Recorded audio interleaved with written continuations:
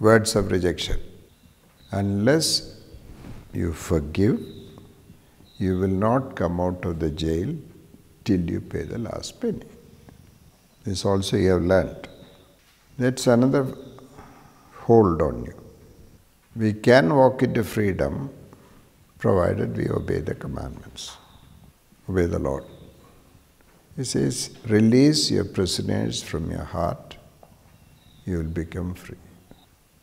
The power of hurt is in unforgiveness.